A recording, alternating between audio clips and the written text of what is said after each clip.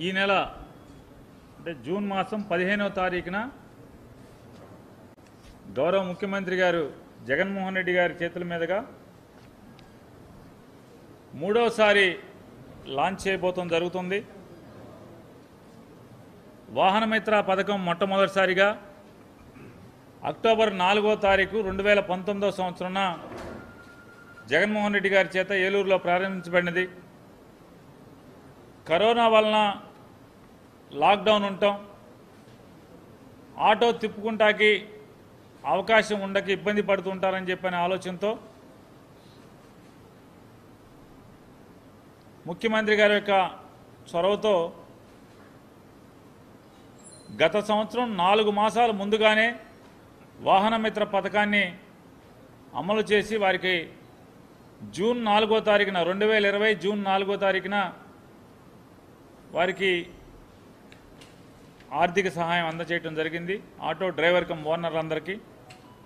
ఈ సంవత్సరం కూడా క్యాలెండర్ ప్రకారం జూలైలో ఆర్థిక సహాయం ఇవ్వాల్సి అంటే వెల్ఫేర్ క్యాలెండర్ ఏదైతే మా ప్రభుత్వం అనౌన్స్ చేసిందో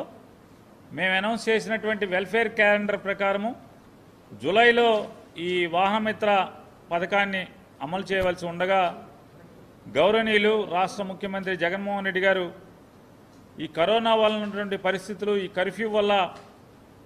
ఆటోలు అనేవి తిరగటం అంటే ఉదయం ఆరు గంటల నుంచి పన్నెండు గంటల వరకే ప్రజల్ని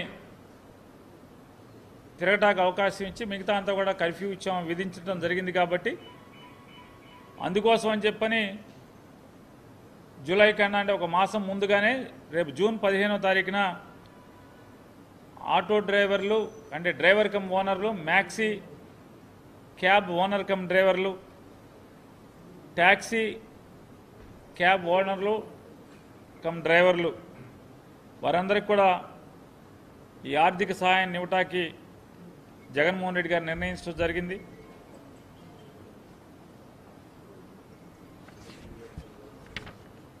గతంలో ఉన్నటువంటి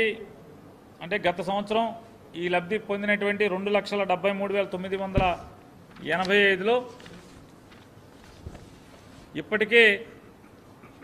అన్ని సచివాలయాల్లో కూడా రెండు లక్షల ఇరవై మూడు వేల మూడు వందల మందికి అర్హత కలిగినటువంటి జాబితాని సచివాలయాల్లో డిస్ప్లే చేయడం జరిగింది. అలాగే ముప్పై మూడు వేల రెండు వందల ఇరవై మంది గత సంవత్సరం లబ్ధి పొందినటువంటి ఆటో ఓనర్ కమ్ డ్రైవర్లు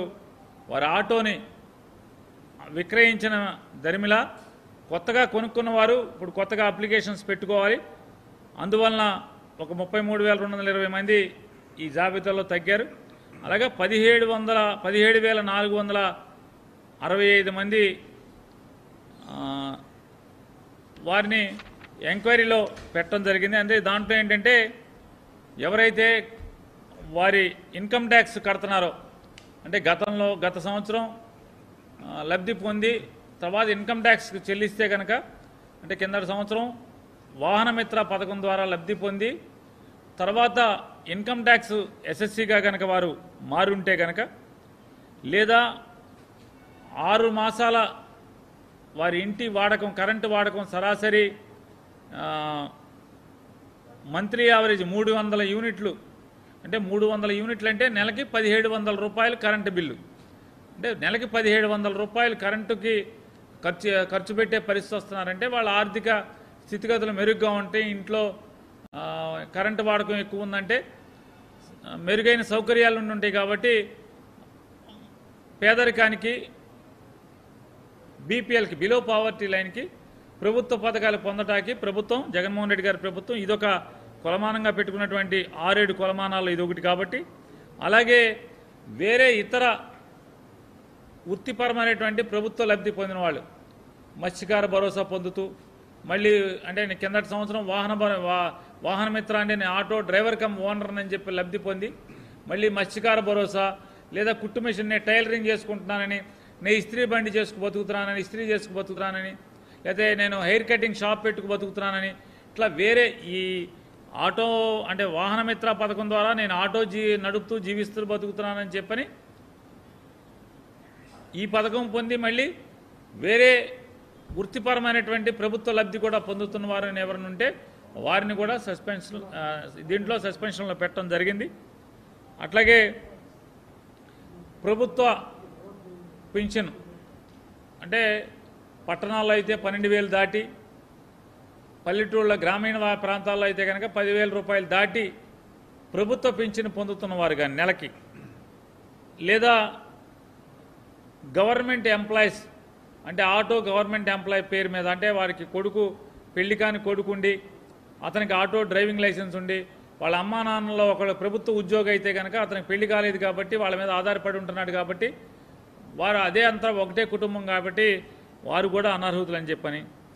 అలాగే మూడు ఎకరాల మాగాణి పొలం కానీ లేదా పది ఎకరాల మెట్ట పొలం కానీ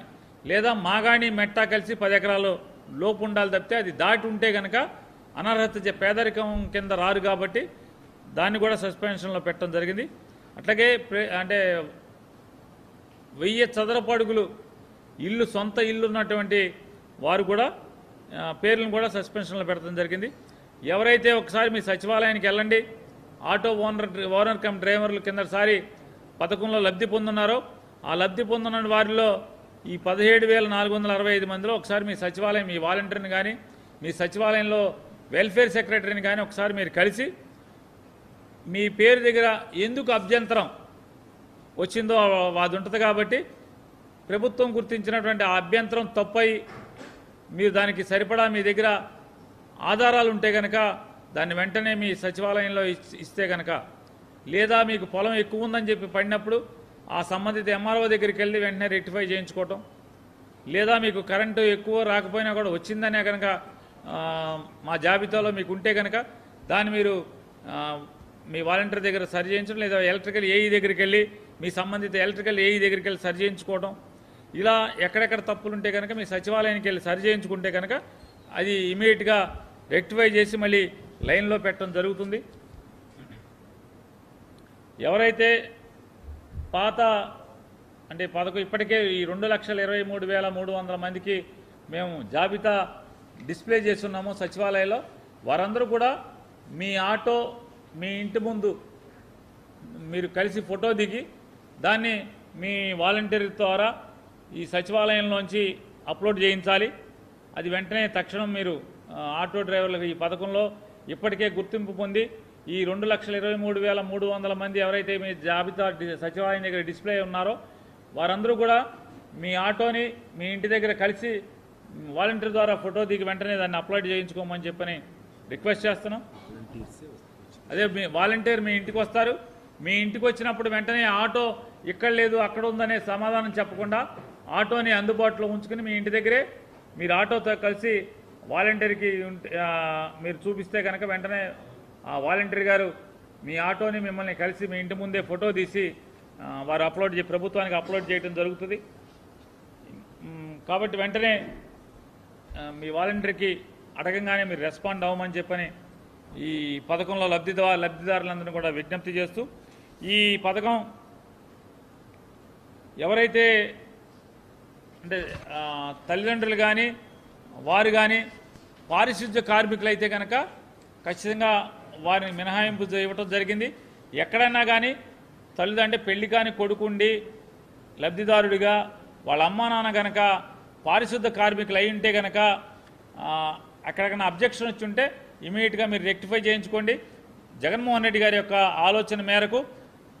పారిశుద్ధ్య కార్మికులు ఎవరైతే పారిశుద్ధ్య ఒప్పంద కార్మికు పారిశుద్ధ కార్మికుడిగా ఉన్నా లేదా పర్మనెంట్ పారిశుద్ధ్య కార్మికుడిగా ఉన్నా సరే వారిని సమాజంలోని అత్యంత పేదవారిగా జగన్మోహన్ రెడ్డి గారు ఆలోచన మేరకు వారిని నిర్ణయించడం జరిగింది కాబట్టి అలా మీకు ఎక్కడన్నా అబ్జెక్షన్ వచ్చి ఉంటే కనుక మీరు అంటే ప్రభుత్వ ఉద్యోగి కొడుకు కాబట్టి అంటే కనుక ఖచ్చితంగా అది మీ సచివాలయంలోకి వెళ్ళి సరి చేయించుకోండి. లేదా మీరు పారిశుద్ధ్య కార్మికులు ఉదయం నుంచి రా మధ్యాహ్నం దాకా పనిచేసి సాయంత్రం ఆటో తోలుకునే పరిస్థితి ఉంటే కనుక మీరు దానికి కూడా అర్హత ఉంది కాబట్టి మీ సచివాలయంలోకి వెళ్ళి పారిశుద్ధ్య కార్మికుల సంబంధించినటువంటి కుటుంబం అయితే కనుక దాన్ని మీరు అర్హత సంపాదించుకోండి మీరు వెళ్ళి సరి చేసుకోయించుకోండి సచివాలయంలో అని చెప్పని మీ అందరికీ